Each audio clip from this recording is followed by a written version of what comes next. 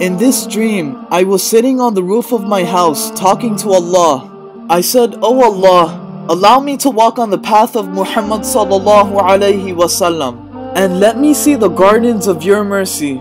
Then Allah said, Okay Qasim, I am sending Jibreel in a clean place in front of your house.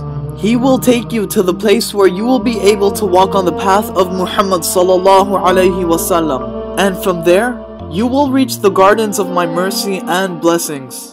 I became really happy and went to my brother, telling him Allah is sending Jibreel alayhi salam to me right now. When my brother heard this, he said, Qasim, what are you talking about? Why would Allah send Jibreel alayhi salam? He didn't listen to me, so I left my house. Then in the park nearby, I saw a light coming from the ground. My brother was staring at me, thinking what has happened to Qasim. In some time, I saw Jibreel alayhi salam coming from the sky. His wings were purely white and there was light emanating from it. They looked like puffy clouds and they were so white that the back of the wings could be seen from the front. And all of those wings were moving around very quickly at once. This was such an amazing sight for me. Jibreel alayhi salam came near me and his beauty was tremendous. I felt that he is one of the first angels ever created.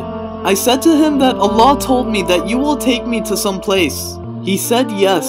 Allah had just given me the order. Grab my hand and you will fly with me. I grabbed his hand and I told my brother, look, this is Jibreel alayhi salam and he has come to take me.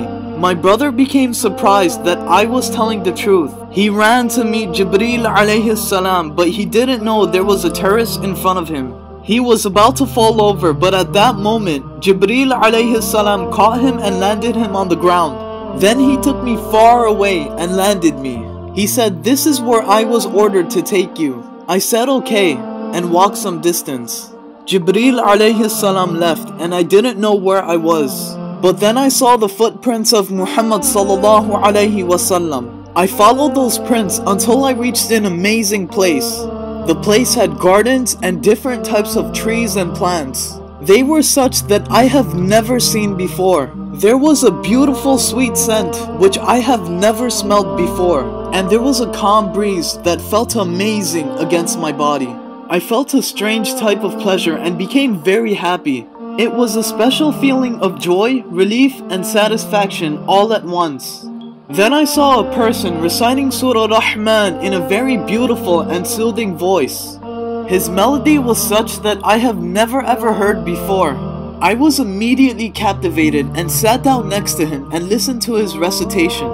And I felt a very strange pleasure every time he recited this ayah.